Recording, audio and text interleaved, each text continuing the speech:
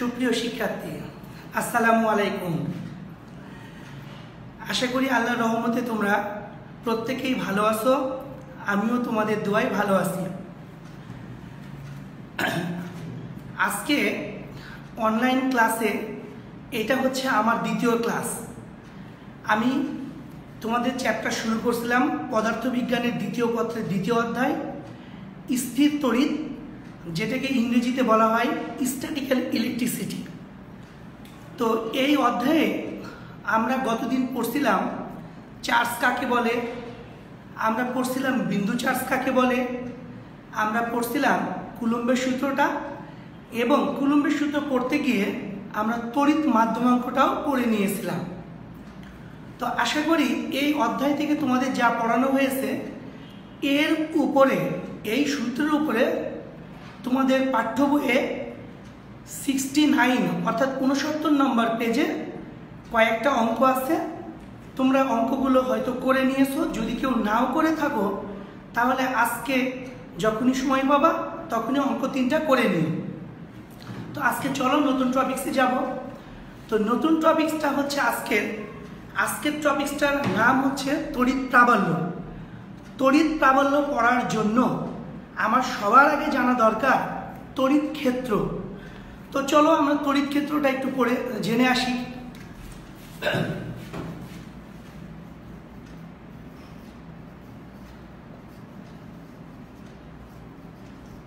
তড়িৎ ক্ষেত্র এটাকে বলা হয় ইলেকট্রিক এটাকে বলা হয়ে থেকে ইলেকট্রিক এটা হলো ফিল্ড তো চলো আমি তড়িৎ ক্ষেত্র পড়ব। তড়িৎ ক্ষেত্র পড়ার আগে আমি তোমাদেরকে শুধু পরিচয় করে দিই, ক্ষেত্র এই কথাটার অর্থ কি? তো আমরা দেখো, আমরা অনেক আগ থেকেই জানি যে বর্গক্ষেত্র, আয়তক্ষেত্র, এর ইংরেজি আবার হচ্ছে ফিল্ড তো তোমরা অনেকেই বলে থাকো, স্কুলের ফিল্ড ফুটবল খেলার মাঠকে বলো ফিল্ডে খেলতে যাব। অর্থাৎ ফিল্ড শব্দের অর্থই বা ফিল্ড কথাটার মানেই বোঝানো হয়ে থাকে একটা নির্দিষ্ট সীমানা বা নির্দিষ্ট অঞ্চল। তো ঠিক আছে, দেখা যাক আমরা তড়িৎ ক্ষেত্রটা কি জিনিস, এটা করব। তো তড়িৎ ক্ষেত্র পড়ার আগে তোমাদের একটু বলে নেওয়া দরকার, এই ক্ষেত্র হতে পারে আবার দুই রকমের একটা মহাকর্ষীয় ক্ষেত্র, একটা তড়িৎ ক্ষেত্র। তো সাধারণ বা স্বাভাবিক কোনো বস্তু দ্বারা যদি কোনো ক্ষেত্র তৈরি হয়, সেটাকে আমরা বলি মহাকর্ষীয় ক্ষেত্র। আর চার্জিত বস্তু দ্বারা যদি কোনো ক্ষেত্র তৈরি হয়, সেটাকে আমরা বলে থাকি তড়িৎ ক্ষেত্র। তাহলে আমরা এখান থেকে ক্ষেত্র পেয়ে গেলাম দুই রকম, একটা মহাকর্ষীয় ক্ষেত্র, একটা তড়িৎ ক্ষেত্র। তাহলে তোমাদেরকে মনে রাখতে হবে, মহাকর্ষীয় ক্ষেত্র ক্ষেত্র হতে হলে সাধারণ বস্তু বা স্বাভাবিক বস্তু হলেই হয়, আর তড়িৎ ক্ষেত্র হতে হলে তোমার চার্জিত বস্তু হয়ে প্রয়োজন হয়। তো চলো তড়িৎ ক্ষেত্র কাকে বলে? বলতেছে বলতেছে কোনো চার্জিত বস্তুকে কোনো স্থানে যদি রাখা হয়, তাহলে ওই বস্তুটা যে অঞ্চল জুড়ে তার প্রভাব বিদ্যমান রাখতে পারে বা রাখে, তাকে বলা হয়ে থাকে তড়িৎ ক্ষেত্র এই কথাটাকে আরেকটু আমি সুন্দর করে বলি। তোমরা একটু খেয়াল করো। সেটা হলো, এইখানে মনে করো আমি একটা, এটা একটা চার্জিত বস্তু, মনে করো প্লাস কিউ কুলুম চার্জের চার্জিত একটা বস্তু। তাহলে এই বোর্ডের এখানে রাখছি। তাহলে এই চার্জিত বস্তুটা তার আশপাশে যে অঞ্চল জুড়ে, তো মনে করে নিলাম এই চার্জিত বস্তুটা তার আশপাশে হচ্ছে এই অঞ্চল জুড়ে তার প্রভাব বিদ্যমান রাখতে পারে। তার মানে হলো, কোনো চার্জিত বস্তুকে কোনো স্থানে রাখলে তার চারপাশে যে অঞ্চল জুড়ে তার প্রভাব বিদ্যমান থাকে অথবা রাখতে পারে, তাকেই বলা হয়ে থাকে তড়িৎ ক্ষেত্র। তাহলে প্রথমে আমি একটু দেখে নিই যে এই যে আমি লাল বৃত্তটা দেওয়ার চেষ্টা করছি, ধরে নিলাম এই প্লাস কিউকুলুম চার্জের জন্য এটা হলো তার তড়িৎ ক্ষেত্র। তাহলে এইটা যে তড়িৎ ক্ষেত্র তৈরি হলো, এখন প্রশ্ন হলো, স্যার, আমি বুঝব কি করে? এটা তড়িৎ ক্ষেত্র? বোঝার উপায় হচ্ছে, তুমি এই লাল বৃত্তের মধ্যে আর একটা যে কোনো একটা বস্তু এনে রাখো, অর্থাৎ চার্জিত বস্তু যে কোনো চার্জের চার্জিত বস্তু। যদি আমি এইখানে মনে করো আর একটা স্মল কিউ চার্জের বস্তুকে এনে রাখছি, তাহলে আলটিমেটলি এই চার্জিত বস্তুর ক্ষেত্র দ্বারা এই চার্জিত বস্তুটা তোমার হচ্ছে বিকর্ষণ বল অনুভব করবে। আবার এর পরিবর্তে মনে করো আমি এইখানে যদি একটা মাইনাস কিউ কুলুম চার্জের বস্তু রেখে থাকি, তাহলে এই চার্জিত বস্তু দ্বারা এই চার্জিত বস্তুটা আকর্ষণ বল অনুভব করবে। তাহলে এটা হলো বোঝার উপায় যে আমি যে কোনো ক্ষেত্রের মধ্যে যদি কোনো চার্জিত বস্তুকে নিয়ে আসি, তাহলে একটা সে ক্রিয়াশীল বল অনুভব করবে। এই ক্রিয়াশীল বলটা হতে পারে আকর্ষণ, হতে পারে বিকর্ষণ। তো তোমাদেরকে এই তড়িৎ ক্ষেত্র পড়ানোর সাথে সাথে আমি আরেকটা কথা তোমাদেরকে বলে নিই। এই তড়িৎ ক্ষেত্র হতে পারে দুই রকমের একটা হচ্ছে ধনাত্মক চার্জের জন্য তড়িৎ ক্ষেত্র, আরেকটা হচ্ছে দেখো, এইখানে আমি আরেকটা বস্তু রাখছি। মনে করো এইটা হচ্ছে তোমার মাইনাস কিউ কুলুম চার্জ তাহলে এই মাইনাস চার্জের জন্য তড়িৎ ক্ষেত্র হচ্ছে মনে করো এইটা হলো মাইনাস চার্জের জন্য তড়িৎ ক্ষেত্র। তার মানে এই তড়িৎ ক্ষেত্র হতে পারে তোমার দুই রকমের, একটা ধনাত্মক চার্জের জন্য তড়িৎ ক্ষেত্র, আর একটা ঋণাত্মক চার্জের জন্য তড়িৎ ক্ষেত্র তার মানে তড়িৎ ক্ষেত্র দুই রকম। এক, ধনাত্মক চার্জের জন্য। দুই, ঋণাত্মক চার্জের জন্য তড়িৎ ক্ষেত্র তো ভালো কথা, এই প্রসঙ্গে আমি তোমাদের একটা গুরুত্বপূর্ণ কথা বলে রাখি। তোমরা সবসময়ের জন্য মনে রাখবে, যেই চার্জ দ্বারা তড়িৎ ক্ষেত্র তৈরি হলো, সেই চার্জটাকে বলা হয়ে থাকে তোমার ক্ষেত্র চার্জ। তার মানে এখানে প্লাস কিউ কুলুম চার্জ দ্বারা তড়িৎ ক্ষেত্র হলো। তাহলে এই কিউ কুলুম চার্জকে বলা হয় ক্ষেত্র চার্জ। এখানে মাইনাস কিউ কুলুম চার্জ দ্বারা তৈরি হলো, এটাকে বলা হয় ক্ষেত্র চার্জ। এই মাইনাস কিউ কুলুম চার্জটাকে বলা হয় ক্ষেত্র চার্জ। তো আশা করি তড়িৎ ক্ষেত্রে আমি যে ধারণা দিয়েছি, তাতে আমার মনে হয় এটা তোমাদের কাছে মোটামুটি একটা ক্লিয়ার হয়ে গেছে তড়িৎ ক্ষেত্র জিনিসটা কি। এইবার চলো আমরা পড়ব। তড়িৎ ক্ষেত্র পড়ার পরে আমরা পড়ব তড়িৎ প্রাবল্য, যেটা আজকের মূল টপিকস তো ঠিক আছে? এটা হচ্ছে, দেখো তড়িৎ, এটা হলো তড়িৎ প্রাবল্য। তড়িৎ প্রাবল্যকে ইংরেজিতে বলা হয় ইলেকট্রিক ইন্টেন্সিটি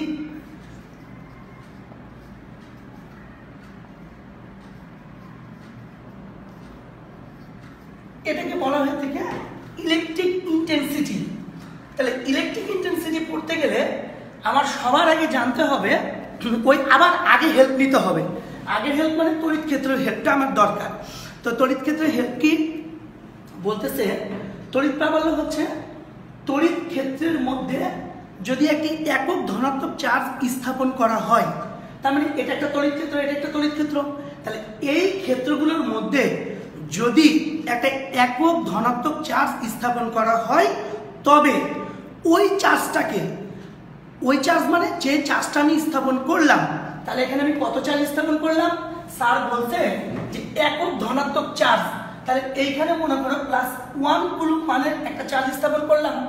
তাহলে তড়িৎ ক্ষেত্রের মধ্যে যদি একটি একক ধনাত্মক চার্জ স্থাপন করা হয়, তাহলে ওই চার্জটি ওই চার্জটি মানে যাকে স্থাপন করলাম, ওই চার্জটি যে বল অনুভব করবে, তাকেই বলা হয়ে থাকে তোমার তড়িৎ প্রাবল্য তাহলে এইটা আমি পজিটিভ ক্ষেত্রে চার্জ পজিটিভ ক্ষেত্রের মধ্যে আমি প্লাস ওয়ান কুলম চার্জ রাখছি। আমি ঠিক আছে? আমি নেগেটিভ ক্ষেত্রের মধ্যেও এখানেও আমি প্লাস ওয়ান কুলম চার্জ স্থাপন করি। তাহলে এই চার্জটা যে বল অনুভব করবে, সেটাকেই আমি বলতেছি তড়িৎ প্রাবল্য। তো ভালো কথা। এখন তড়িৎ প্রাবল্যকে লেখা হয়ে থেকে ই দ্বারা। তাহলে এখন একটু আমি এই ই মানে তড়িৎ প্রাবল্য, এটার আমি একটা ইন জেনারেল সংজ্ঞা দেব। ইন জেনারেল সংজ্ঞা মানে আমি এর রাশি লিখব। এই রাশি থেকে তাহলে আমি এক কুলুমের পরিবর্তে, এই এক কুলুমের পরিবর্তে আমি মনে করলাম, এখানে একটা স্মল কিউ কুলুম চার্জ স্থাপন করি। তাহলে এই স্মল কিউ কুলুম চার্জের জন্য, এই স্মল কিউ কুলুম চার্জটা মানে স্থাপনের জন্য এই চার্জটা মনে করো এফ বল অনুভব করে। তাহলে আমি ই সমান লিখতে পারি ই ইকুয়াল এফ বা কিউ এটা হচ্ছে তড়িৎ প্রাবল্যের সাধারণ রাশি, রাশিমালা। তো ভালো কথা, এইবার দেখো, আমি তোমাদেরকে এইটা বোঝাতে চাচ্ছি, তাহলে এইখান থেকে সংজ্ঞাটা দেওয়া যায় নিচে যেটা থাকে সেটাকে সবসময় হিসাব করতে হয় এক এককে। তাহলে কিউ হচ্ছে চার্জ এফ হচ্ছে বল। তাহলে তড়িৎ ক্ষেত্রের মধ্যে যদি আমি একটি একক ধনাত্মক চার্জ স্থাপন করি তাহলে ওই চার্জটা অর্থাৎ এই চার্জটা যে বল অনুভব করবে সেটা হলো কিউ এই সরি সেটা বল অনুভব করবে এফ কিউ চার্জটা এফ বল অনুভব করবে, কাজে এটাকে বলা হয়ে থাকে তড়িৎ প্রাবল্য ই এখন তড়িৎ প্রাবল্য এর একক হচ্ছে এসআই পদ্ধতির একক হচ্ছে দেখো, বলের একক হচ্ছে নিউটন, চার্জের একক হচ্ছে কুলুম। তাহলে এটা হচ্ছে নিউটন পার কুলুম। এটা হলো তোমার এসআই পদ্ধতিতে এটা হলো একক, তড়িৎ প্রাবল্যের একক। এখন কথা হচ্ছে, তড়িৎ প্রাবল্য আবার একটা ভেক্টর রাশি। তাহলে তড়িৎ প্রাবল্য যদি ভেক্টর রাশি হয়ে থাকে, তাহলে আলটিমেটলি এর মানও থাকবে, এর দিকও থাকবে। তো তড়িৎ প্রাবল্য পড়তে গিয়ে সবচেয়ে ইম্পর্টেন্ট কথা হচ্ছে তড়িৎ প্রাবল্যের দিক। তুমি যদি বা তোমরা যদি দিক না বুঝো তাহলে তড়িৎ প্রাবল্যের কোনো অঙ্কই তোমরা করতে পারবে না। এইখানে একটু তাকাও। তাহলে এর যদি মান থাকে, তাহলে বলকে আমরা চার্জের পরিমাণ দ্বারা ভাগ করলে আমরা প্রাবল্যের মান পেয়ে যাব। এইবার, তাহলে স্যার দিক কোন দিকে? তাহলে দিকটা তোমরা একটু বিবেচনা করে বলো। এইটা ধনাত্মক, এটা হলো ধনাত্মক চার্জের জন্য তড়িৎ ক্ষেত্র তৈরি হয়েছে। এই তড়িৎ ক্ষেত্রের মধ্যে আমি একটা স্মল কিউকুলম চার্জ স্থাপন করলাম। তাহলে এই ক্ষেত্র চার্জ কর্তৃক এই চার্জটা আকর্ষণ অনুভব আকর্ষণ বল অনুভব করবে না বিকর্ষণ বল অনুভব করবে? আলটিমেটলি এটা পজিটিভ এটাও পজিটিভ তাহলে আলটিমেটলি বিকর্ষণ বল অনুভব করবে। এবার তোমরাই বলো, তাহলে বিকর্ষণ অনুভব বল, বিকর্ষণ বল অনুভব করলে চার্জটাকে কি কাছে টেনে নিবে না দূরে সরাই দিবে? জি, দূরে সরাই দিবে, ঠিকই মনে মনে ভাবছ? তাহলে এর দিক হবে, এই ক্ষেত্র চার্জটা যদি পজিটিভ হয় তাহলে তার দিক হবে এই ক্ষেত্র থেকে বাইরের দিকে, অর্থাৎ বহি দিকে।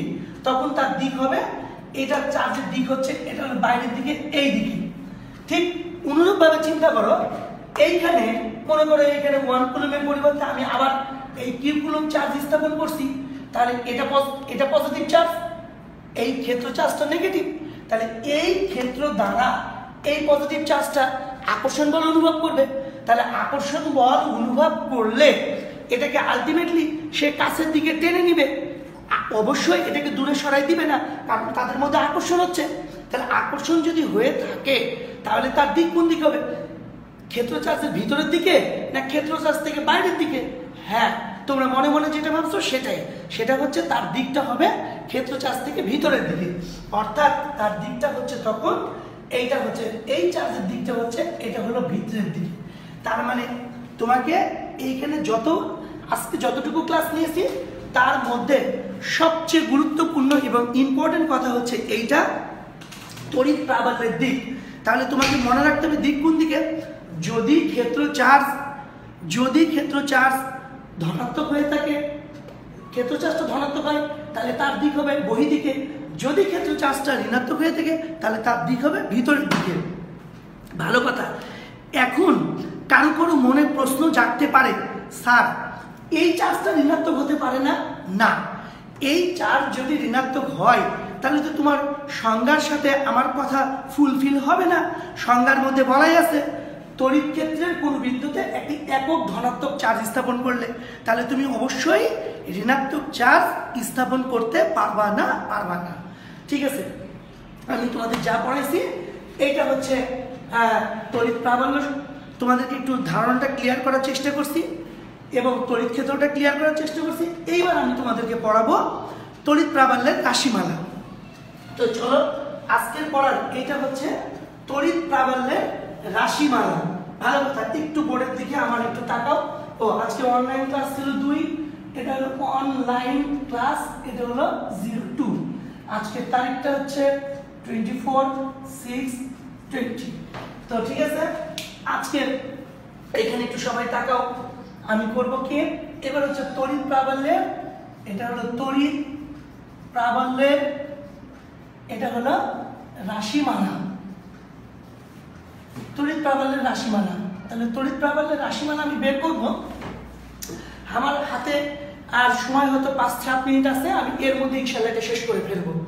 দেখো, তড়িৎ প্রাবল্যের রাশিমালা বের করার জন্য প্রথমে আমি মনে করি এই আমার বোর্ডের উপরে একটা প্লাস কিউ কুলুম চার্জ আমি এখানে একটা প্লাস কিউ কুলুম চার্জ স্থাপন করছি। তোমাদেরকে আগেই বলা হয়েছে। কি বলা হয়েছে? কোনো জায়গাতে যদি চার্জিত বস্তু রাখা হয়, তাহলে ওই চার্জিত বস্তুটা তার আশেপাশে একটা তড়িৎ ক্ষেত্রের সৃষ্টি করে। তো ভালো কথা। তাহলে আমি আমার বোর্ডের উপরে একটা প্লাস কিউকুলুম চার্জ রাখছি।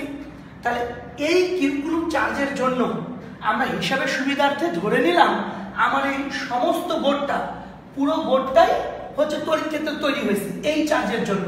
এটা আমি ধরে নিলাম। তাহলে তার মানে এই বোর্ডের উপরে যদি আমি আরও একটা চার্জ রাখি, সেই চার্জটাকেও রাখা হবে, তড়িৎ ক্ষেত্রের মধ্যে রাখা হবে। এইটা হলো বোঝানো।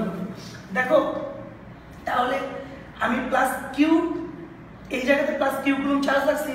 তাহলে এই প্লাস কিউ কুলুম চার্জ হতে আমি আর দূরত্বে এখান থেকে এইটুকু দূরত্ব ধরে নিলাম, আর এই আর দূরত্বে এই বিন্দুতে মনে করো যে আমি আর একটা চার্জ স্থাপন করলাম, সেটা হচ্ছে স্মল কিউ কুলুম চার্জ আমি কিন্তু চার্জের এককটা লিখিনি, মুখে বলছি, কিন্তু আমি শুধু চার্জের মানটা লিখতেছি। তাহলে দেখো প্লাস কিউকুলম চার্জ হতে আর দূরত্বে একটা স্মল কিউকুলম চার্জ স্থাপন করলাম। তাহলে স্থাপন করলে কি হলো? তাহলে এই চার্জটাও তড়িৎ ক্ষেত্রের মধ্যে এই ক্ষেত্র দ্বারা যে তড়িৎ ক্ষেত্রটা তৈরি হলো, তার মধ্যে হলে প্লাস কিউকুলম চার্জ তাহলে তোমরা বলো দেখি, তাহলে এই চার্জটা এই তড়িৎ ক্ষেত্র কর্তৃক একটা ক্রিয়াশীল বল অনুভব করবে। হ্যাঁ এটাও পজিটিভ এটাও পজিটিভ তাহলে অবশ্যই এখানে বিকর্ষণ বল অনুভব করবে। তা আমরা দুই বলের মধ্যে আকর্ষণ বা বিকর্ষণ বল সম্পর্কিত সূত্রটা কি জানি? কুলুম্বের সূত্র দ্বারা। সূত্রটা হচ্ছে, তার মানে দুই বলের মধ্যে আকর্ষণ বা বিকর্ষণ বল সম্পর্কিত এটা হলো কুলুম্বের সূত্র হতে লিখতে পারি। লিখতে পারি কি? দেখো তো। সেটা হলো আমরা লিখতে পারি এফ সমান one by four by epsilon naught সূত্রটা কি? Q one Q two by R square Q one মানে আমি ধরে নিলাম ক্যাপিটাল কিউ কিউ টু মানে আমি ধরে নিলাম স্মল কিউ মধ্যবর্তী দূরত্ব আর স্কোয়ার মানে আর স্কোয়ার তুমি এটাকে এক নং সমীকরণ দিয়ে রেখে দাও। আবার দেখো, আমি একটু আগে, কয়েক মিনিট আগে পড়ে এসেছি প্রাবল্যের সংজ্ঞা হতে। তাহলে প্রাবল্যের সংজ্ঞা হতে আমরা কি জানি? প্রাবল্যের সংজ্ঞা সংজ্ঞা হতে, প্রাবল্যের সংজ্ঞা হতে পারে। আমরা কি পাবো? দেখো তো, ই ইকুয়াল বলো এফ বাই কিউ কি, ঠিক আছে? এখন দেখো, তুমি তো একটু আগে এফ এর মান বের করলে এক নং সমীকরণে, তা আমি এফ এর মানটা এক নং সমীকরণ থেকে এনে বসাই দিই, তাহলে ওয়ান বাই ফোর বাই এটা হলো অ্যাপসেলার নট এটা হলো কিউ ওয়ান এটা হলো কিউ টু মানে স্মল কিউ ক্যাপিটাল কিউ আর আর স্কোয়ার নিচে হচ্ছে স্মল কিউ এইবার তোমরা খেয়াল করো, লবে আছে স্মল কিউ হরে হচ্ছে স্মল কিউ তাহলে লব আর হর থেকে আমি স্মল কিউ স্মল কিউ কেটে দিতে পারি। তাহলে কেটে দিলে আমার কি থাকবে? অতএব ই সমান হবে one by four by external naught এটা হচ্ছে কিউ বাই আর স্কোয়ার এটাই হচ্ছে বায়ু বা শূন্য মাধ্যমে, বায়ু বা শূন্য মাধ্যমে তোমার তড়িৎ প্রাবল্যের রাশিমালা। যদিও আমাকে শুরুতেই বলে নেওয়া লাগতো যে মনে করি বায়ু বা শূন্য মাধ্যমে প্লাস কিউকুলুম চার্জ স্থাপন করি। তো যাই হোক, এখন আমি বলে দিলাম এটা বায়ু বা শূন্য মাধ্যমে তার তড়িৎ প্রাবল্যের রাশিমালা এখন তোমাদের সাথে আমার কথা হচ্ছে, তোমাদেরকে গতদিন আমি যখন কুলুম্বের সূত্র পড়াইছিলাম, বলছিলাম, এই কুলুম্বের সূত্রটা বায়ু বা শূন্য মাধ্যম ছাড়াও অন্য কোনো মাধ্যমের জন্য প্রযোজ্য হয়। ঠিক অনুরূপভাবে এই তড়িৎ প্রাবল্যটাও হচ্ছে বায়ু বা শূন্য মাধ্যম ছাড়া অন্য কোনো মাধ্যমের জন্য প্রযোজ্য হয়ে থাকে। সেটা কি হয়? এটা যদি বায়ু বা শূন্য মাধ্যম ছাড়া অন্য কোনো মাধ্যমের জন্য প্রযোজ্য হয় তখন এই স্মল কিউয়ের জায়গাতে আমি করব কি? যেই মাধ্যমে যাব, অর্থাৎ যেই মাধ্যমে গেলাম, ওই মাধ্যমের মাধ্যমাঙ্ক যদি কে হয়, তাহলে এইখানে শুধু আমি কে দ্বারা গুণ করে দেব।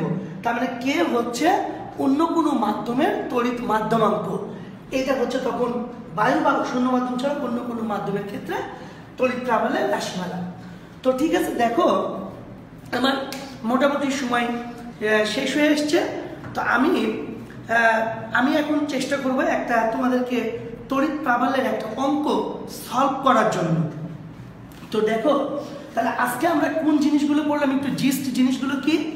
আজকের মূল পড়া হচ্ছে তড়িৎ প্রাবল্যের রাশিমালা। তো তড়িৎ প্রাবল্যের রাশিমালা পড়তে গিয়ে আমরা আগে পড়ে নিয়েছি তড়িৎ ক্ষেত্র কাকে বলে? তড়িৎ প্রাবল্যের রাশিমালা। এই তড়িৎ প্রাবল্যের রাশিমালা দ্বারা এখন আমি তোমার অঙ্ক করতে যাব। তো অঙ্ক করতে যাওয়ার আগে এখানে একটা প্রশ্ন আছে, অনেক ছাত্র বা ছাত্রীর মাথাতে এই প্রশ্নটা এসে থাকে। স্যার